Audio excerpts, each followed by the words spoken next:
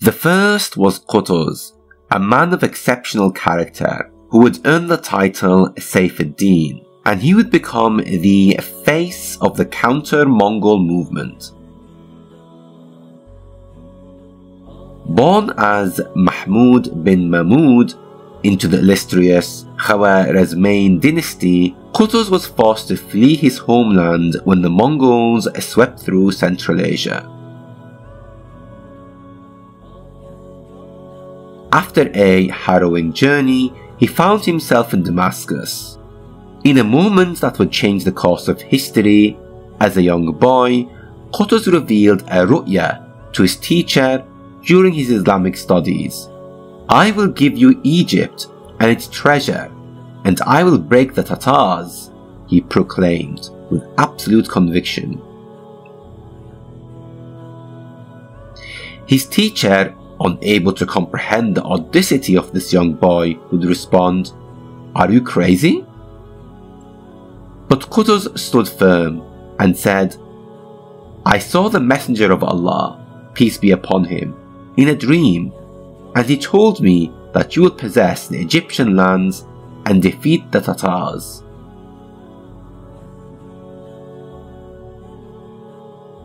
It was a bold claim, one that defied all reason and logic. The Tatars were known to be invincible, and no one dared to stand up to them.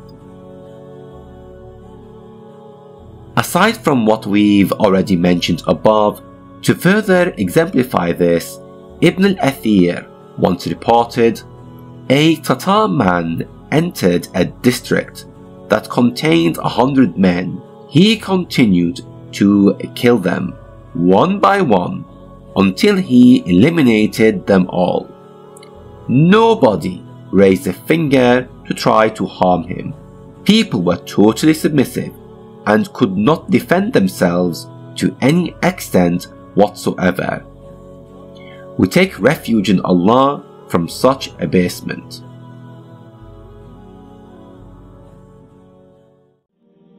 But Qutuz was different. He had a vision, a purpose, and strong faith in Allah subhanahu wa ta'ala. This young boy dared to dream of the impossible, not just taking over Egypt, but also defeating the unconquerable. As if to fulfill the ru'ya, he would be sold off by a slave merchant to Cairo. While there, he would begin his Mamluk training program that we have already mentioned earlier.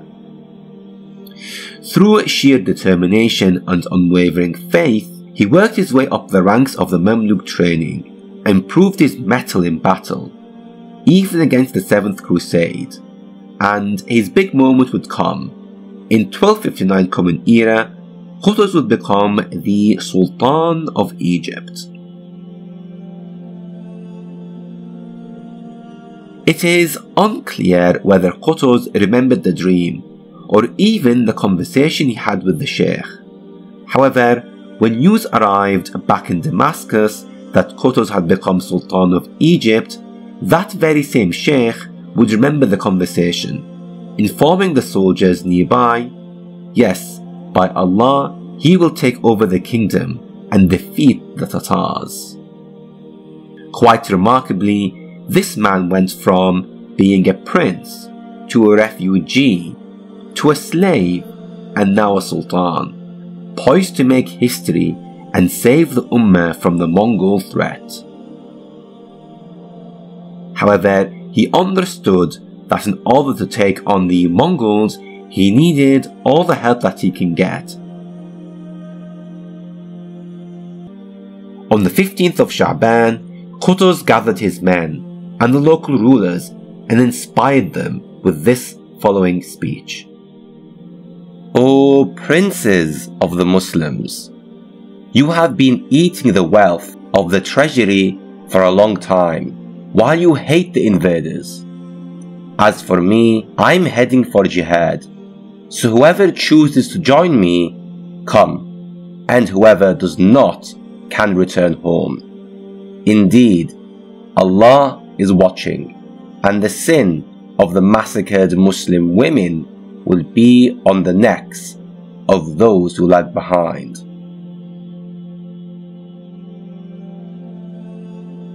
Next, the Sultan descended with his troops to Gaza and stayed there for a day.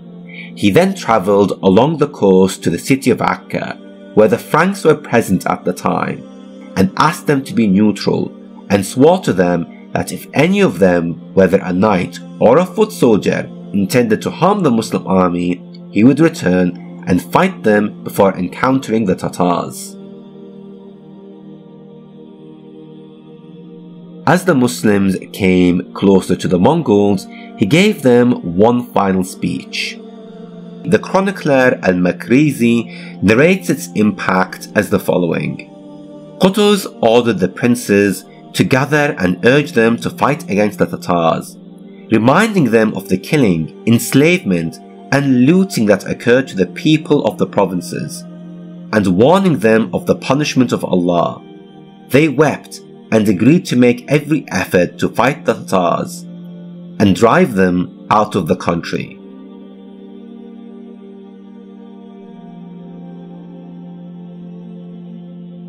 The Sultan then ordered General Baybars to march with a group of soldiers until he met the Tatars' vanguard.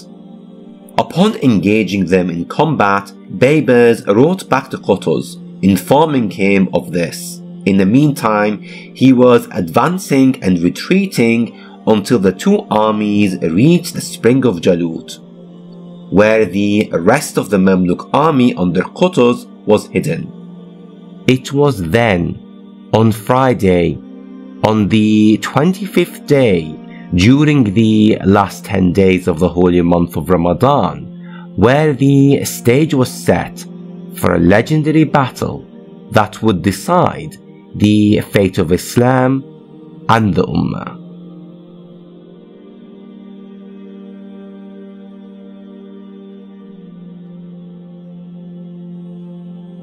On the 3rd of September 1260 Common Era, Baybars and Qutuz led their troops southeast down the Jezreel Valley to launch their attack. Both demonstrated exceptional courage and leadership skills standing firm against two massive Mongol charges that could have easily broken their ranks. At one point, the tides of battle turned against the Mamluk army, and they were struggling against the relentless Mongol onslaught. But Qutuz was not one to give up easily. He took off his helmet and got into the thick of things, famously shouting, Wa Islaman, Wa Islaman, Wa Islaman. O Islam, three times, followed by, O Allah, help your servant Qutuz against the Tatars. His valiant act galvanized the troops and they fought on with renewed vigor. The Mamluks, trained to perfection, unleashed deadly long-range attacks from their stationary horses that rendered the Mongols' hit-and-run horse archery tactics useless. With the Mongols faltering, the Mamluks seized the opportunity and charged into the enemy ranks, led by Qutuz himself. Just when the Mamluks were gaining the upper hand, the unthinkable happened. The Mongol force was hit by the desertion, allowing the Mamluk right flank to break through the void and attack the Mongol center. Baybars would take advantage. His troops were able to break through the void and attack the Mongol center, and Kitbuqa would be captured and then killed.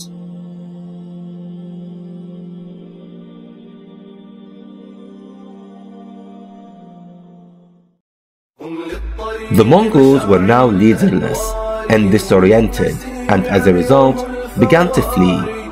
Against all odds, the Mamluks had defeated the Mongols and the Ummah had new heroes.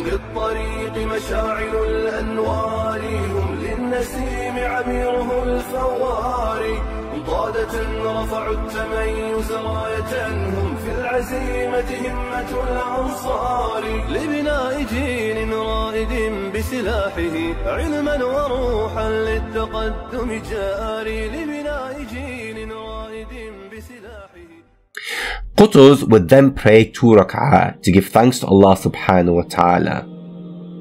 Sadly, Qutuz, who would earn the title the Line of Ain Jalut, would not live long after. Tensions would reignite between he and Baybars, and Qutuz would be assassinated by the Mamluk Bahriya faction.